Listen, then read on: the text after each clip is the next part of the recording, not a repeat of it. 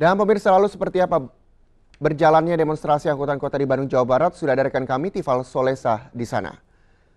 Tifal, saya melihat di belakang Anda masih banyak sekali angkot yang uh, tidak beroperasi. Bagaimana unjuk rasa di sana hingga siang ini? Ya, selamat siang Reza. Bicara soal aksi unjuk rasa hari ini sebetulnya tengah memasuki masa jeda terlebih dahulu.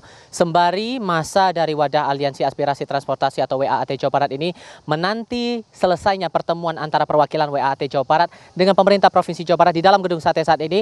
Dari informasi yang kami dapatkan, mereka tengah bertemu dengan Dinas Perhubungan Provinsi Jawa Barat dan juga Dinas Perhubungan Kota Bandung. Apa bentuk uh, pertemuan ini uh, bisa kisaran terkait dengan tuntutan yang mereka sampaikan? Berkenaan dengan implementasi Peraturan Menteri Perhubungan Nomor 108 Tahun 2017 tentang angkutan berbasis aplikasi online yang sudah disahkan oleh pemerintah pada tahun 2017 lalu. Nah, uh, bicara soal jumlah masa sendiri, sebetulnya sempat dikabarkan akan ada 2.000 masa yang ikut bergabung. Ini hasil konfirmasi kami kepada pihak uh, Polrestabes Bandung yang didapatkan oleh pihak WAT Jawa Barat. Namun hingga saat ini secara kasat mata saja sebetulnya jumlah 2000 itu masih belum terlihat hingga siang ini di pukul 12 waktu Indonesia bagian Barat. Belum lagi kami masih belum melihat kedatangan dari masa asal Cimahi dan juga Sumedang Jawa Barat yang kabarnya akan bergabung dengan rekan-rekan dari Soreang Kabupaten Bandung yang saat ini sudah berada di depan Gedung Sate untuk berorasi terkait dengan hal ini. Fokus dari uh, tuntutan yang disampaikan oleh masa ini terba dari Permenhub nomor 108 tahun 2017 ini terpaut tentang uh, jumlah atau juga kuota angkutan online yang beredar di Jawa Barat lalu juga implementasi dari penggunaan stiker bagi angkutan online yang beroperasi serta penggunaan dan juga penerapan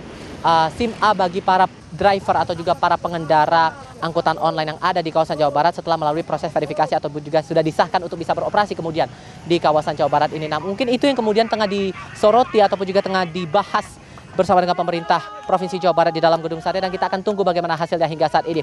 Sebetulnya aksi ini sempat juga disuarakan atau juga direncanakan berlangsung pada Oktober 2017 lalu. Namun kegiatan uh, unjuk rasa dan juga mogok massal pada saat itu batal dilakukan seiring dengan sepakatnya antara kedua belah pihak antara lain dari pihak WAAT Jawa Barat dan juga pemerintah Provinsi Jawa Barat serta pemerintah Kota Bandung untuk segera merealisasikan atau segera mengimplementasikan Permen Hub ini dalam kurun waktu uh, segera mungkin begitu setelah Permen Hub ini disahkan pada November 2017 kemudian diberi masa adaptasi selama tiga bulan begitu. Nah, hitungan selama enam bulan ini implementasi itu belum juga terbukti maka atas dasar itulah masa saat ini berorasi dan meminta pemerintah Provinsi Jawa Barat untuk segera menerapkan aturan tersebut agar bisa menerapkan yang namanya asas berkeadilan baik itu bagi para penyedia jasa angkutan konvensional maupun juga bagi penyedia jasa angkutan online. Bicara soal pengamanan sendiri di depan gedung sate saat ini uh, eh, 3.000 personel gabungan dari pihak Polrestabes Bandung dan juga Kodam 3 Siliwangi masih berjaga di gedung sate